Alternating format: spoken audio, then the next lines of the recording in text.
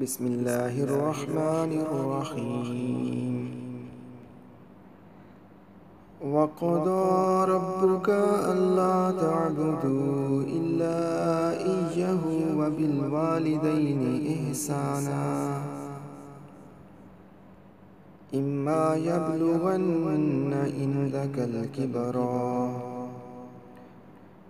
الكبر عندك الكبر أحدهما أو كلاهما فلا تقل لهما فلا تقل لهما أف ولا تنهرهما وقل لهما قولا كريما واخفض لهما جناح الذل من الرحمة وقل رب ارحمهما كما ربياني صغيرا. اور تمہارے رب نے حکم فرمایا کہ اس کے سوا کسی کو نہ پوچھو اور ماں باپ کے ساتھ اچھا سلوک کرو۔ اگر تیرے سامنے ان میں ایک یا دونوں بڑھاپے کو پہنچ جائے ضعف کا غلبہ ہو اعضاء میں قوت نہ رہے۔ اور جیسا جو بچپن میں ان کے پاس بے طاقت تھا۔ ایسے ہی وہ آخر عمر میں تیرے پاس ناتوان رہ جائیں تو ان سے ہوں نہ کہنا۔ یعنی ایسا کوئی کلمہ زبان سے نہ نکالنا۔ جس سے یہ سمجھا جائے کہ ان کی طرف سے طبیعت میں کچھ گرانی ہے۔ اور انہیں نہ جھڑکنا اور ان سے تعظیم کی بات کہنا۔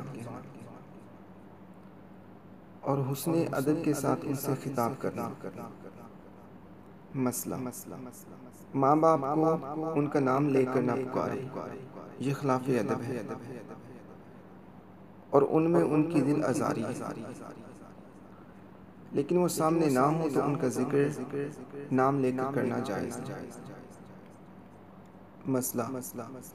ماں باپ سے اس طرح کلام کرے جیسے غلاموں خادم آقا سے کرتا ہے۔ اور ان کے لیے آجزی کا بازو بچھا۔ یعنی بنرمی اتواز پیش آ اور ان کے ساتھ تھکے وقت میں شفقت و محبت کا برتاؤ کر۔ کہ انہوں نے تیری مجبوری کے وقت تجھے محبت سے پرورش کیا۔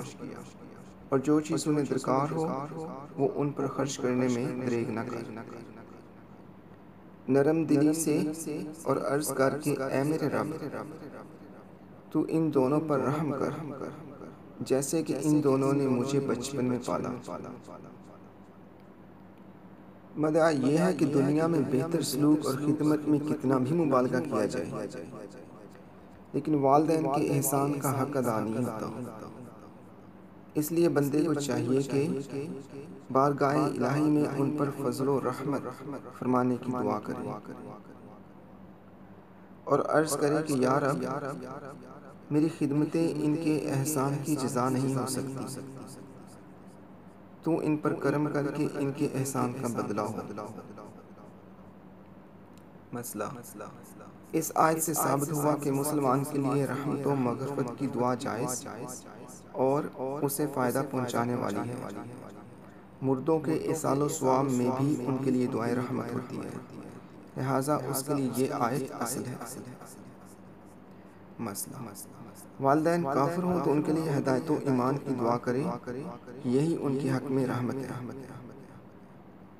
حدیث شریف میں ہے کہ والدین کی رضا میں اللہ تعالیٰ کی رضا اور ان کی ناراضی میں اللہ تعالیٰ کی ناراضی۔